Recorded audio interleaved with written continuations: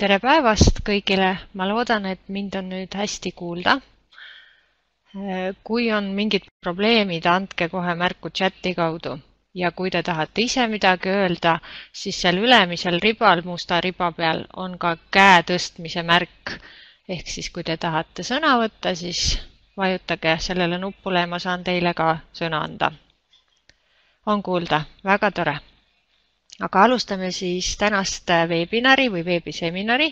Ja minu nimi on Veronika Rogalevitš, mina olen üks koolitajatest ja viin seda äh, koolitust siis koos Anne ja Katriniga teist korda läbi. Ja veebiseminaril olen, olen mina seni üksi läbi viinud. seminar salvestatakse, et teil on võimalik seda järelvaadata ka hiljem. Ja lingi äh, koos siis võib-olla Youtube'i aknaga lisame Eliademis kursusele ka sissejuhatavasse osasse jah, et kui teil ei ole audiovõimalust äh, me kahjuks chattida kogu seda seminari ei saa, aga jälgige siis visuaalset pilti, ma hakkan kohe ekraani jagama. et siis te võib-olla midagi vähemalt näete ja hiljem saate järel vaadata, kui teil tekib see helivõimalus, kõlarid näiteks, mingi teine arvuti, millega saab vaadata nii, aga alustame siis Heliademi keskkonnaga ja vaatame meie kursust üldisemalt. ma hakkan nüüd jagama ekraani, et te saaksite koos minuga vaadata ja kursusele tulla. nii, loodetavasti on siis näha. ja hetkel olen mina meie kursusel juba sees, kursuse nimi on digitaalsete õppematerjalide loomine lühi, lühem versioon siis muidu on digitaalsete õppematerjalide loomise põhimõtted ametlik nimetus. ja see kursus on äh, meil siin Eliademi keskkonnas. Eliademi keskkond sai valitud eelmisel aastal või kevadel selle tõttu, et äh, tol hetkel olid kõik menüüd ja kogu keskkond eestikeelne, eestikeelne tugi ole olemas. nüüd septembris kahjuks kadus see tugi ära, kuna ei ole meil tõlkijaid võtta, et kui keegi teist järsku tunneb kedagi, kes sooviks vabatahtlikult tõlkida, Eliademi tiim väga ootab ja siis võib minuga ühendust võtta privaatselt meili teel. et saame ta jälle eestikeelseks teha. Aga hetkel siis on ta inglisekeelne ja kõik menüüd on inglise keeles, et sellepärast võib-olla ongi see veebiseminar praegu väga äh, kasulik, et saame koos läbi vaadata, mis siin on. minul on õpetaja vaade ehk siis mina näen natukene rohkem kui teie, sest osa meie kursuse sisust on või suurem osa on praegu peidetud, nähtav on ainult see, eh, mis, millega te peaksite hetkel tegelema. Heliademi keskkonnas esimene rubriik on content ehk kursuse sisu. et siit te alati peaksitegi alustama. siin on teile juhised, eh, mida, millal peaks tegema, üldine kursuse eesmärk ja meie kontaktid samuti peaks siia ilmuma ka selle veebiseminari salvestus. nii. nüüd äh, järgmine rubriik on siis sissejuhatus või järgmine sisuosa. et siin on teil siis äh, kirjeldatud ka esimesed ülesanded, mida te peaksite sooritama, tähtajad on äh, välja toodud, ehk siis sissejuhatuse osas peaksime me tegema kaks asja kirjutame tutvumisfoorumisse natukene endast. Tutvustusring on foorumi pealkiri ja link viib ka vastavasse foorumisse siit otse. Ja teine asi on siis ülesanne number üks, selle tähtaeg on teine oktoober. see foorumi eh, ring lõpeb meil kahekümne neljandal septembril ja teiseks oktoobriks eh, palutakse teil siis juba natukene ka ise panustada ja esitada siia üks õppematerjal. avamine võtab veidike aega.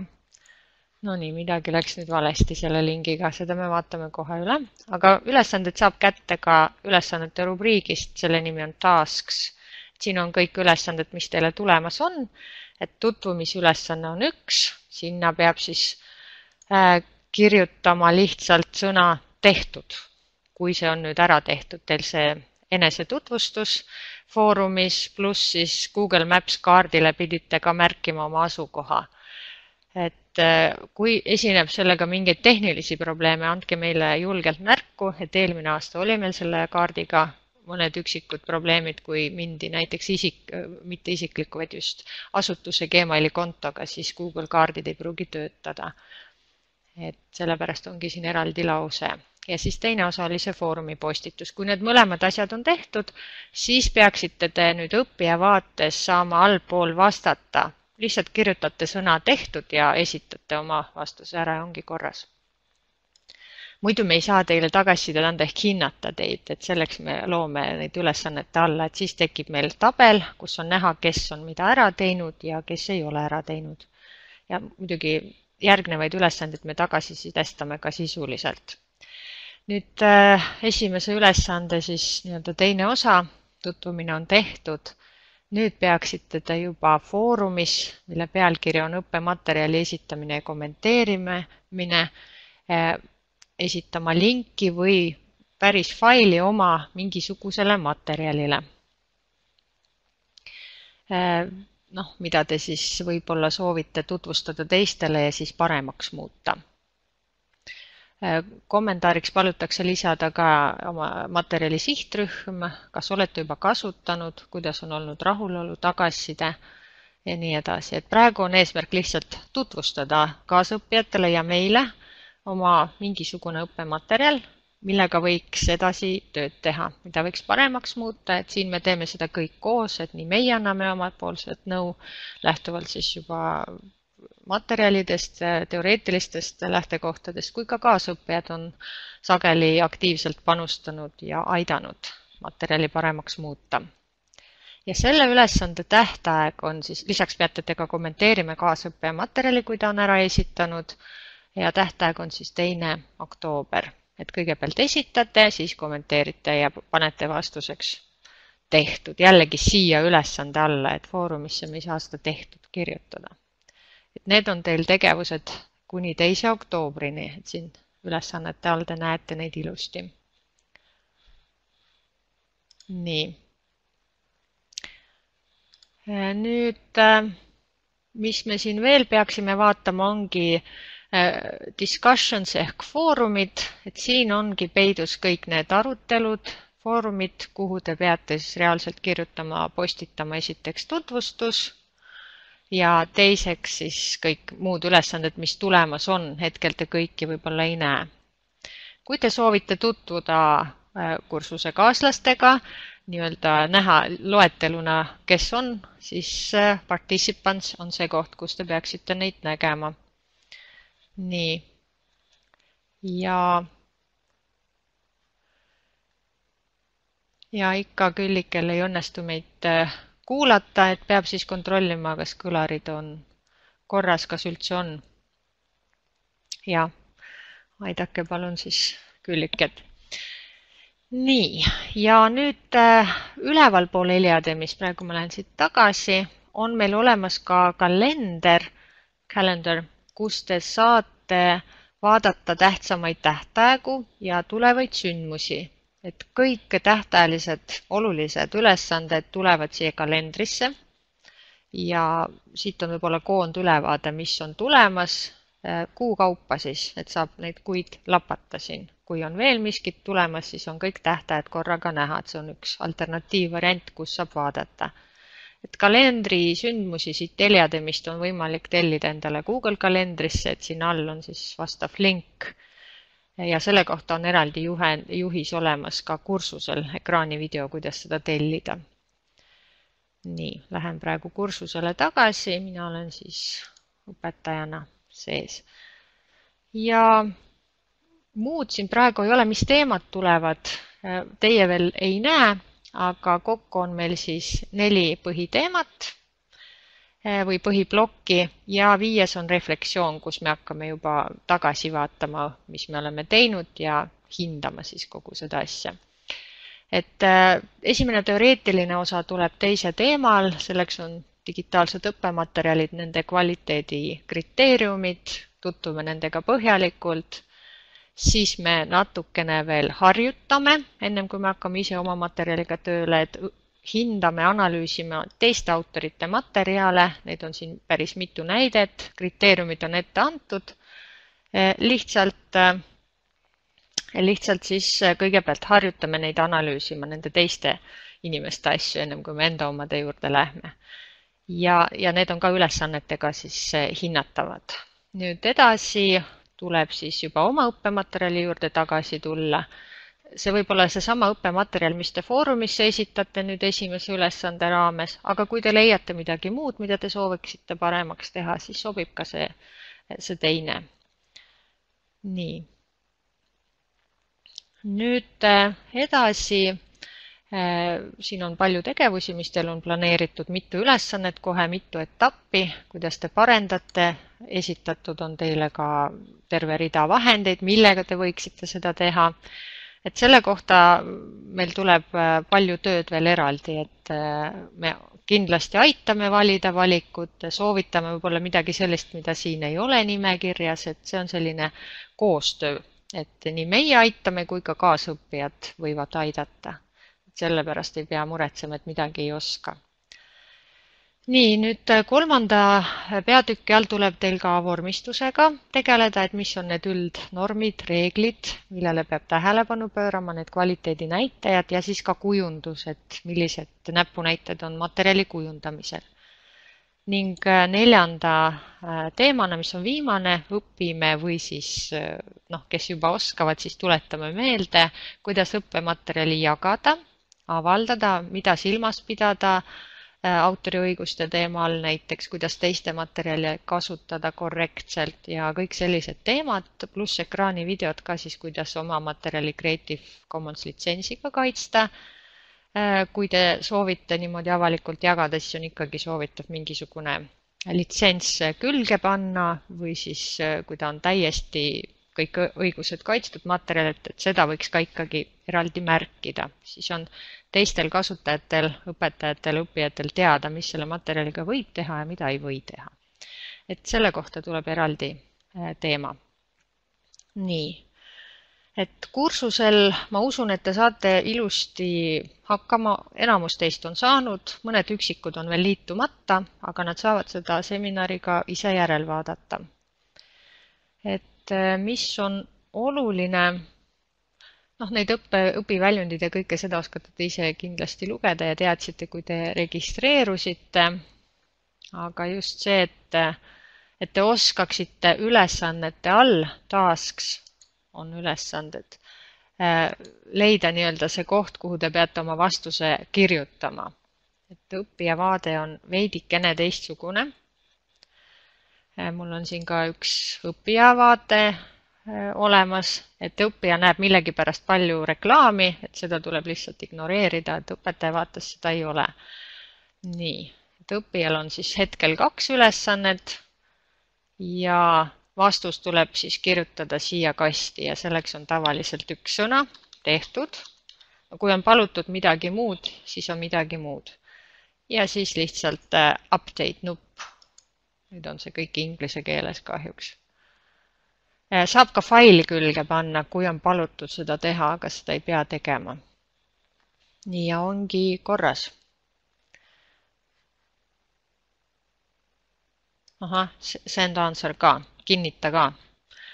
just, et see on nüüd mingi uus asi, mida ma varem ei märganud, nii et send answer kindlasti ka vajutada, et siis ta läheb, siis see saadetakse ära.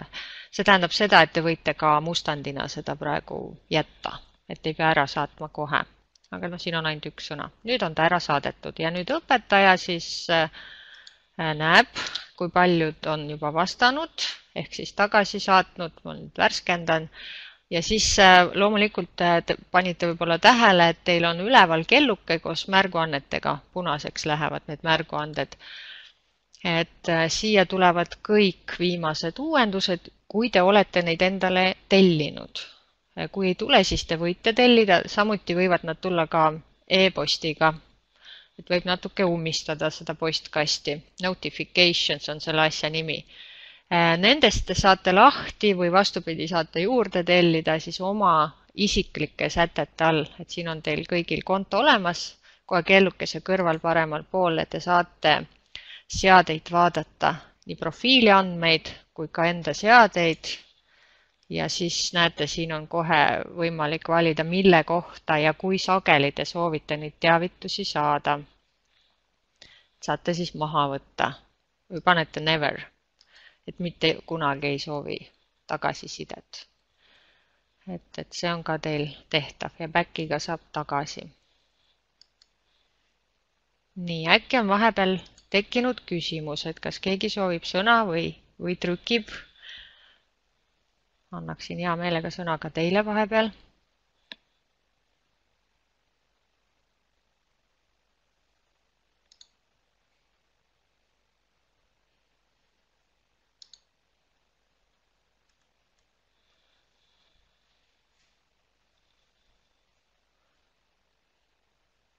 nii, praegu tundub, et ei ole midagi.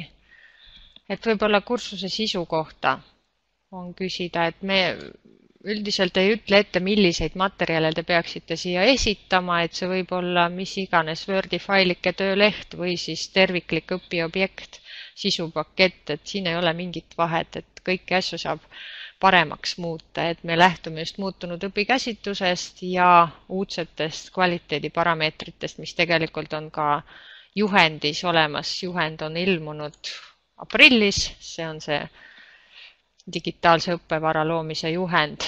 Võib-olla olete juba seda näinud või sirvinud, et me ka lähtume sellest, et see on avalikult kättesaadav ja siin kursusel on ka lingid sellele juhendile igal pool olemas. nii on küsimusi, ei ole küsimusi. et vaadake ringi, mõelge, kas oskate juba äh, mingit materjali valida või soovite veel juurde küsida võib, seda võib ka privaatselt muidugi teha. ja kui teil on mingid äh, hilisemad küsimused, probleemid, siis on meil discussions rubriigis, foorumite rubriigis ka üldine foorum olemas, pange tähele et siia te saate siis kirjutada ükskõik mis äh, küsimusi, muresid. ja sii-, siia ka meie võime kirjutada siis informeerida teid äh, millestki, mis on plaaniväliselt võib-olla. et jah, jälgige siis, põhirubriigid on foorumid, discussions, tasks on ülesanded ja content on sisu.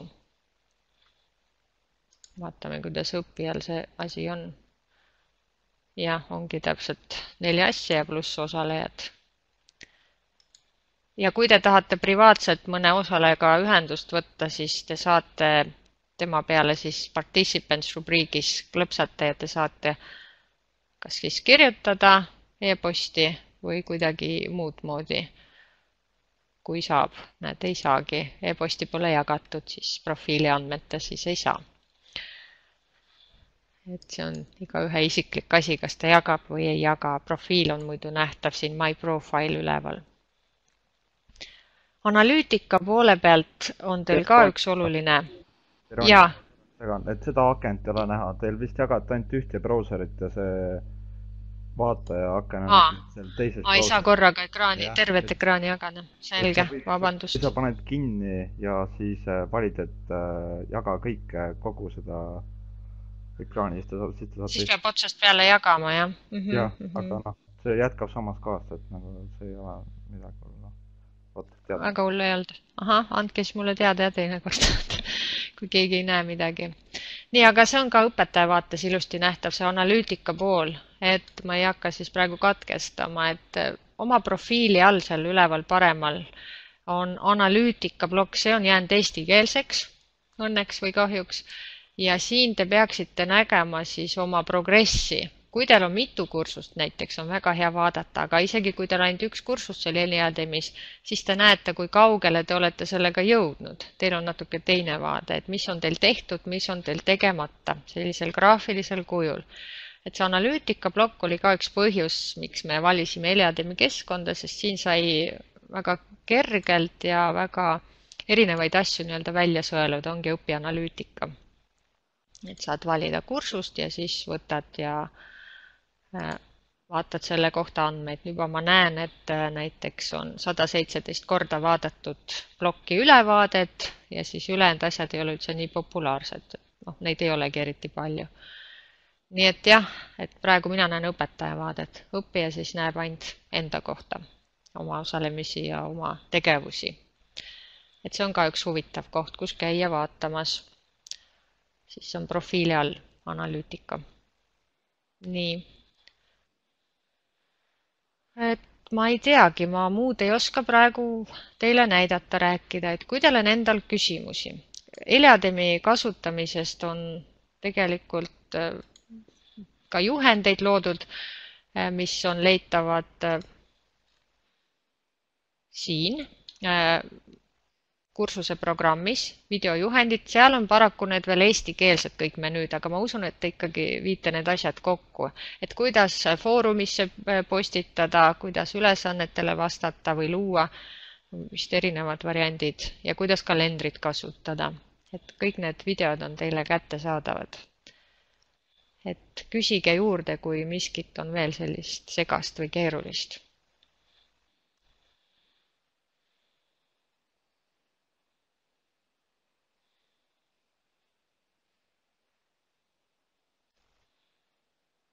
hetkel ma ei näe, et keegi küsiks või kirjutaks isegi midagi. et kindlasti järgige ja vaadake seda ajakava, mis siin ülevaadete või kursuseprogrammi all on tabelina tehtud Katrin Kisandi poolt. et siin on teil siis ajaline ülevaade olemas, millal umbes kõik ülesanded, harjutused peaksid olema tehtud. et ajavahemikud on paindlikud, pikad, lähtusime juba kevadisest kogemusest, et enamustele sobis selline äh, kava, et kõik jõudsid ära teha õigeks ajaks.